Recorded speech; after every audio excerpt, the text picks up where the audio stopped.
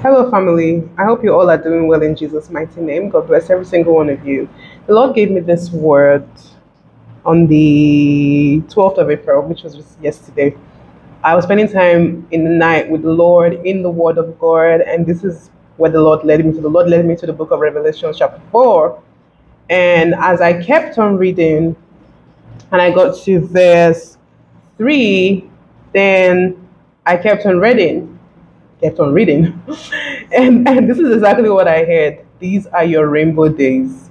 Okay, I'm going to read Revelations 4 and um, and then, yeah, so that you have an understanding. Praise God. So Revelations 4 3 to 4 is, is, is the focus, okay? And that just simply says, And the one who sat there had the appearance of jasper and ruby, a rainbow that shine, sorry, that shone like an emerald encircled the throne, right? Surrounding the throne were 24 other thrones, and seated on them were 24 elders.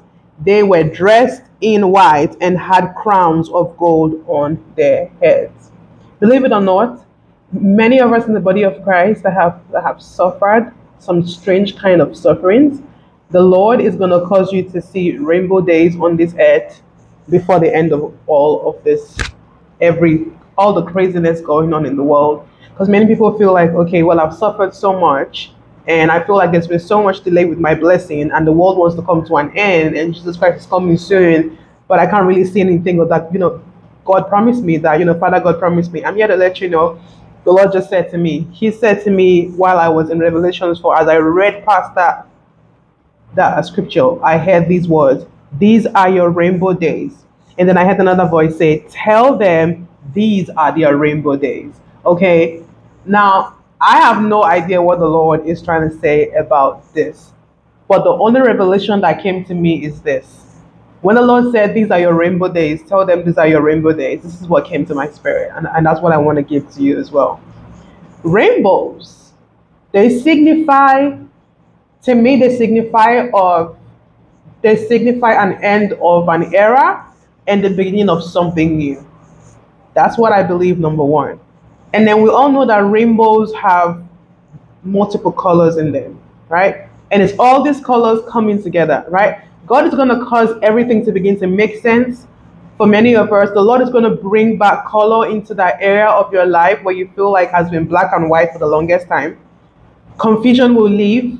The Lord will bring clarity the Lord will, will you know, uh, release his children. The Lord will just cause you to enter into a beautiful, a beautiful season, a sweet season, a colorful season.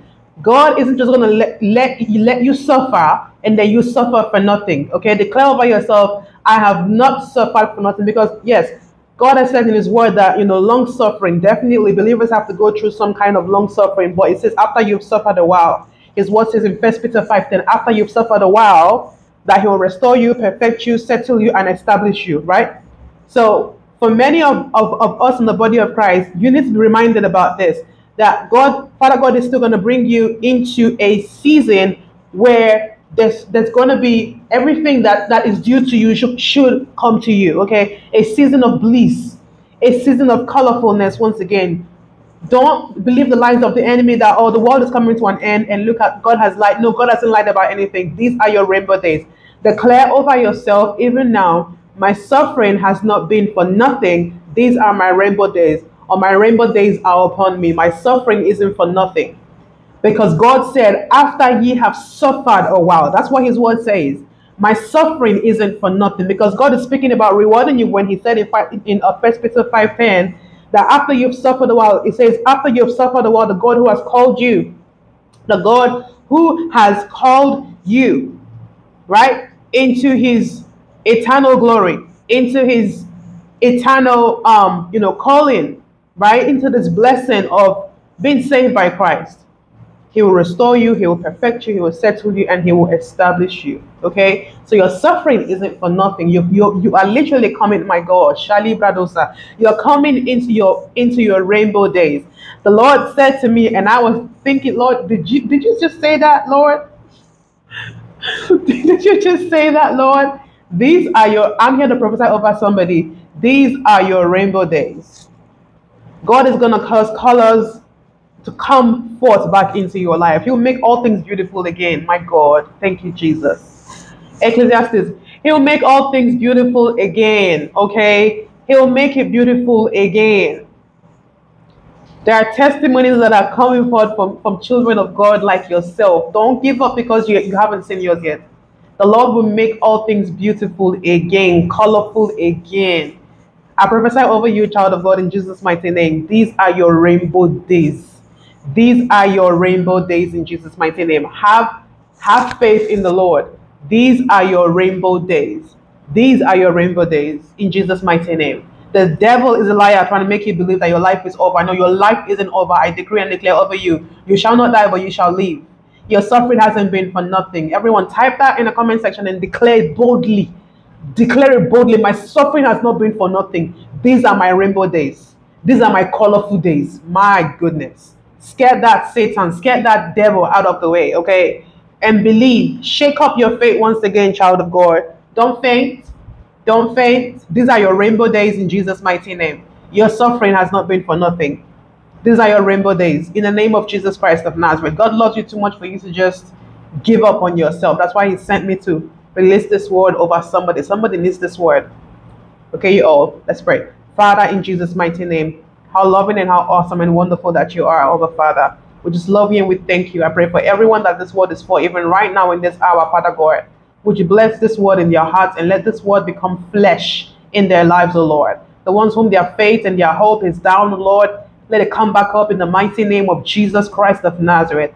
Every attack of Satan on their faith, on their hope, on their lives, on their promises, let it crumble in Jesus' mighty name. Lord, do as you have said, Lord, in your word in Jesus' mighty name. Let these days indeed be the rainbow days of your people. Let it be colorful days. Let them come into a colorful season once again. In Jesus' mighty name, have mercy, Abba Father. Have mercy, Yahweh. Have mercy, King of Kings, Lord. And bless your people, Lord, in Jesus' mighty name. Amen and amen. Child of God, these are your rainbow days in the mighty name of Jesus Christ of Nazareth. Exactly how Revelations 4, verse 3 has said. Hallelujah. These are your rainbow days. Believe it, because that's what the Lord gave to me at 3:26 a.m. yesterday, April 12th.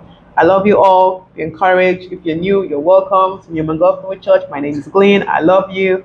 Jesus loves you all so much more than I can ever do. Subscribe if you're new as well. God bless you, and I'll see you all very soon. Shalom.